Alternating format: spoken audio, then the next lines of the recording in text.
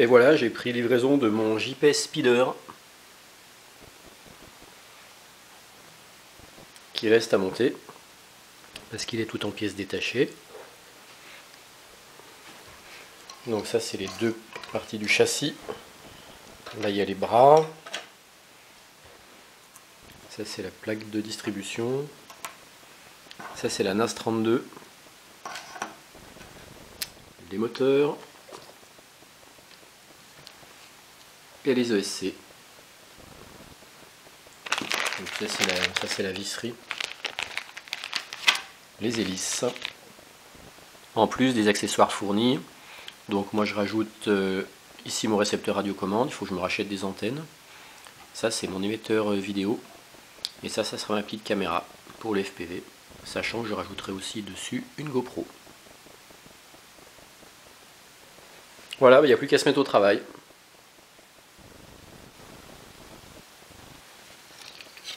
Voilà, pour commencer, il faut fixer la platine de distribution. Donc ça déjà c'est fait.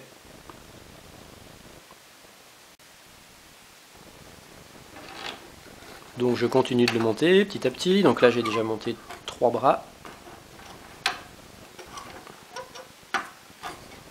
Donc je les ai fixés.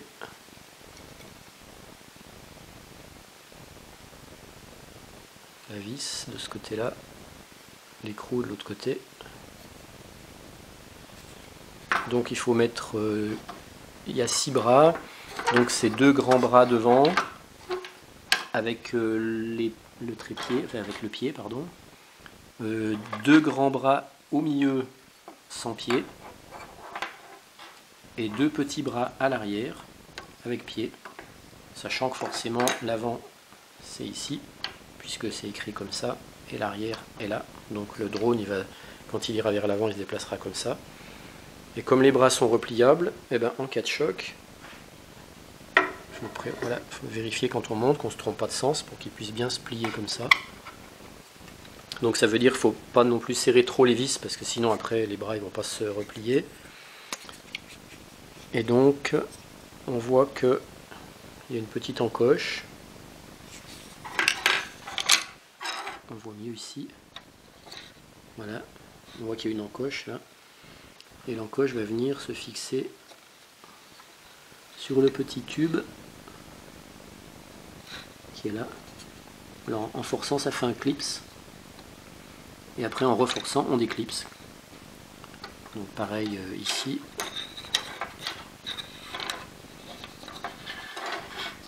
Ça va venir se clipser. Là. Vous si je force, on va entendre le clips.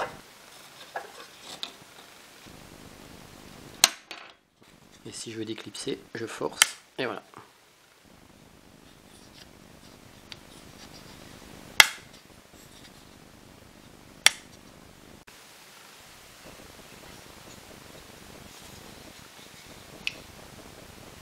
Voilà les six bras montés le châssis supérieur.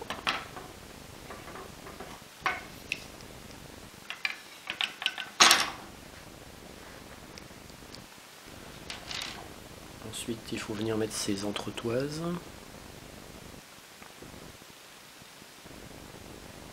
Donc il y en a deux grandes ici, deux grandes là et puis 6 euh, plus petites et je crois qu'elles vont aller comme ça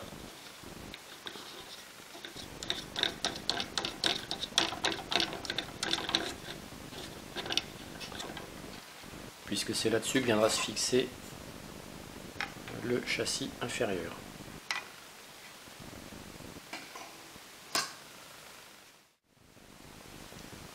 Alors ensuite, concernant la carte NAS 32, il faut bien repérer cette petite flèche là,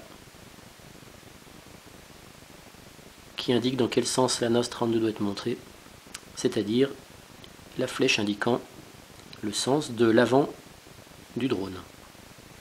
Comme pour moi l'avant du drone est ici et l'arrière là, il faut que la NAS 32 soit bien orientée comme ça quand je vais la fixer. Alors ce qui est très important à savoir, c'est qu'il faut utiliser des vis nylon parce que sinon on risque de faire un court jus quand on va rentrer les vis dans les petits trous de la carte NAS 32 et comme c'est une carte multicouche ça risque de faire court-circuit si on prend des vis métalliques parce que le carbone est conducteur aussi donc euh, Antoine préconise de prendre enfin Antoine et, Jean-Paul préconisent de prendre des vis nylon voilà j'ai introduit les quatre vis nylon sur la partie inférieure du châssis, ce qui sera le dessous du châssis. Et euh, il faut remarquer que ici on a une gravure qui indique en fait le centre de gravité du modèle. Donc il faut faire en sorte que justement cette gravure soit bien à l'extérieur du, du, fond et non pas à l'intérieur parce que sinon euh, on la verrait plus. Et donc, ça sera très important de pouvoir centrer son modèle avec ce repère. Donc c'est pour ça que moi je vais, je vais mettre comme ça et après ça va se retourner comme ça, voyez. Il faut prévoir ensuite de pouvoir mettre quatre premiers petits boulons en nylon sur lesquels vont pouvoir venir se poser la NAS 32 de façon à ce qu'elle ne soit pas en contact directement avec le carbone parce qu'on voit qu'elle n'est pas complètement plate. Il ne faut pas que les petits picots euh, ici euh, touchent la plaque de carbone. Donc du coup les, les petits boulons servent de cale. Et donc la NAS 32 va pouvoir rentrer comme ça, tout simplement.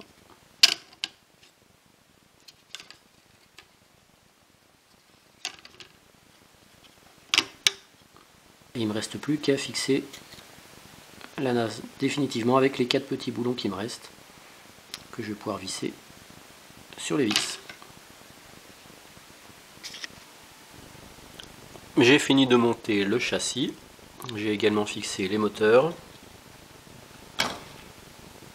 Donc le plus dur reste à faire, ça va être les soudures.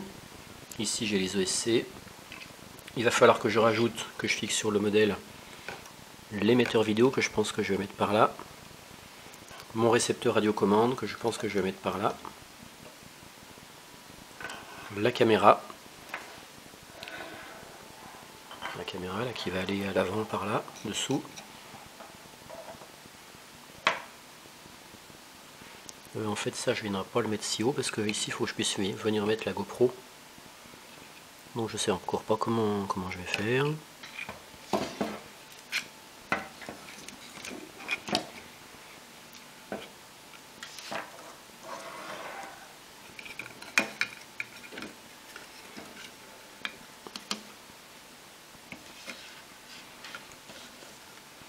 Donc les ESC vont venir se brancher là.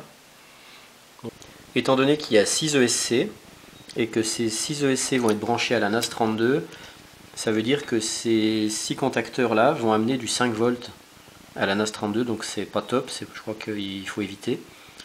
Donc en fait, euh, moi ce que je fais, ce qu'on m'a conseillé, voilà, c'est d'enlever cette petite broche, le plus, de, des 5 autres ESC, ce qui fait que j'ai un seul ESC qui va amener le plus 5 volts, donc qui va bien alimenter la NAS 32, qui elle-même alimentera mon récepteur euh, radiocommande. Et donc je neutralise le plus des 5 autres ESC. Donc il suffit d'enlever la petite broche. Donc avec un, tournevis, il faut euh, tirer la petite patte de fixation de la broche, la soulever, hop, on tire sur le fil, et du coup euh, la patte elle sort. Et après, ben, je la coupe tout simplement, ce qui fait que ça fait comme ça. Et comme ça, j'aurai bien qu'un seul 5 volts qui va alimenter la NAS 32. Donc voilà comment ça va s'articuler. Je vais venir donc alimenter mes ESC sur la plaque de distribution ici.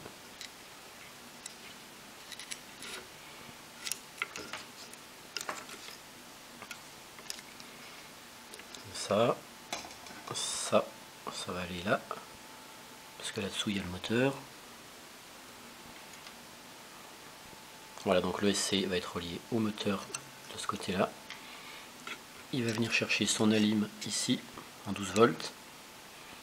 Et il va alimenter la NAS 32 qui elle-même viendra alimenter mon récepteur radiocommande qui sera là-bas dessous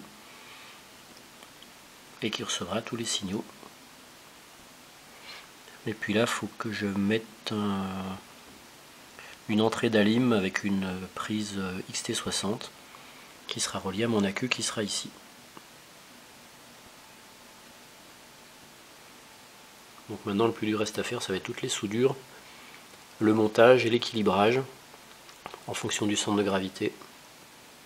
Voilà, ça va être le, plus compliqué d'agencer un peu tout sur le, sur le châssis.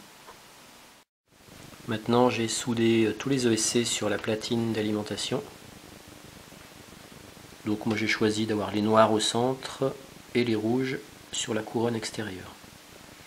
J'en ai profité pour brancher aussi une petite prise JST sur cette platine d'alim qui me servira qui me servira à alimenter euh, ma vidéo FPV, c'est-à-dire euh, la caméra et l'émetteur vidéo.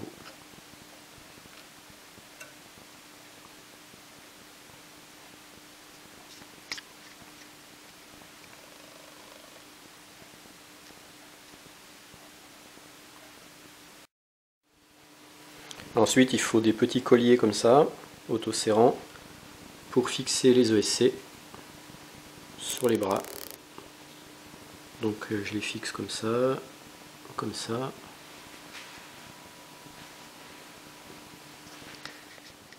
Je me retrouve avec un bouquet de 6 prises euh, radiocommande qui correspondent à mes 6 ESC que je dois venir brancher aux broches de ma.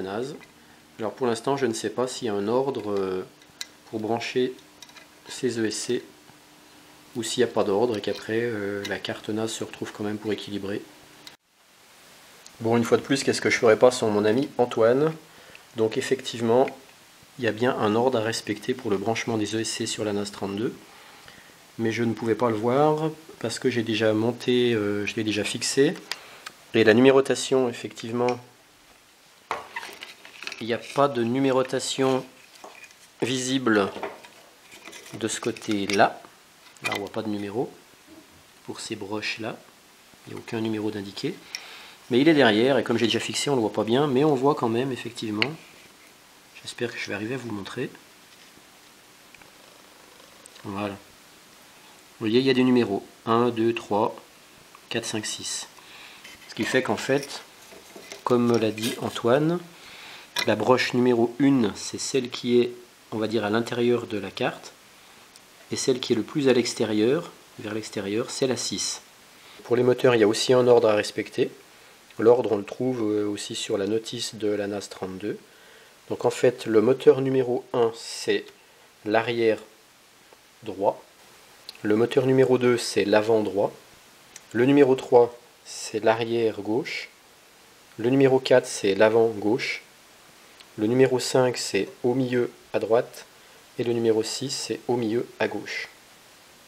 Voilà, en fait, on le retrouve schématisé ici sur la notice de la NAS 32. J'ai fini tous les branchements moteur ESC.